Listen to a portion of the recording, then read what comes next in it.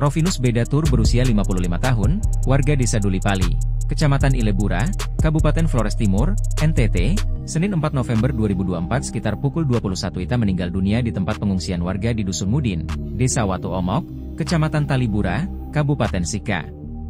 Informasi meninggalnya Rovinis diperoleh dari Arnoldus Marten, salah satu warga desa Watu Omok yang rumahnya menjadi tempat korban mengungsi pasca Gunung Lewotobi laki-laki meletus, Minggu, 3 November 2024 malam. Informasi yang diperoleh Tribun Flores.com menyebutkan, meninggalnya pengungsi asal Flores Timur telah dilaporkan kepada aparat Polsek Waigete dan Pospol Nebe. Kapolsek Waigete, Ibtu Iwayan Artawan dan Kasubsektor Nebe bersama dua personel anggota Subsektor Nebe telah melaksanakan kunjungan dan melayat ke rumah duka pengungsi dari Kabupaten Flores Timur akibat dampak erupsi Gunung Lewotobi. Korban meninggal dunia dikarenakan penyakit bawahan sesak nafas alias asma. Saat ini, korban meninggal dunia telah dibawa ke desa Dulipali untuk proses pemakaman. Proses pemulangan jenazah difasilitasi Polsek Ulanggitang. Hingga kini data terkait pengungsi yang meninggal dunia baru satu orang. Sedangkan korban meninggal dunia karena letusan gunung saat kejadian ada 9 orang.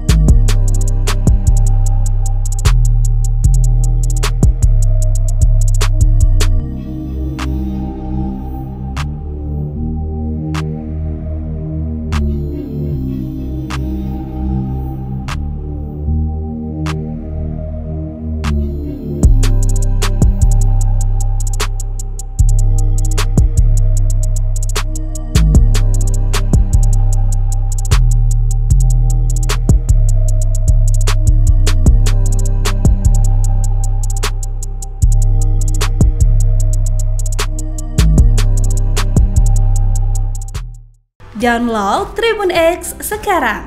Menghadirkan lokal menjadi Indonesia.